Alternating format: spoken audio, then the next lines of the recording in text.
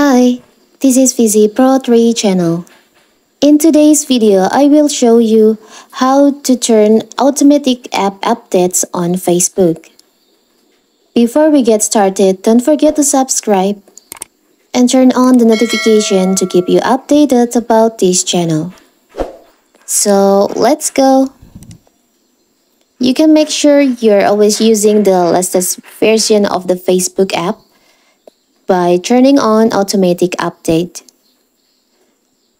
So first of all, of course we have to open our Facebook app. You can manage from your app. Now you can tap on the three lines over here or your profile. You can scroll down, tap on settings and privacy. Tap on settings. You can scroll down. On Preferences, there is an option Media. You can tap on that.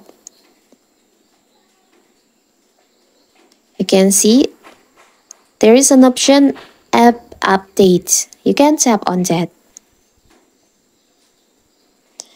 The auto update Facebook feature is turned off.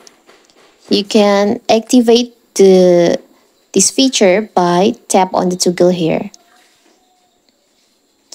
Now your Facebook app will automatically update it over Wi-Fi.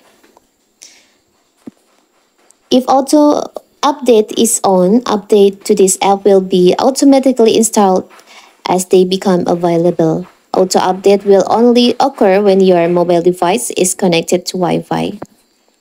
So that is how to turn on auto update app on Facebook. Don't forget to like and subscribe and turn on the notification to keep you updated about this channel. Thank you and see you!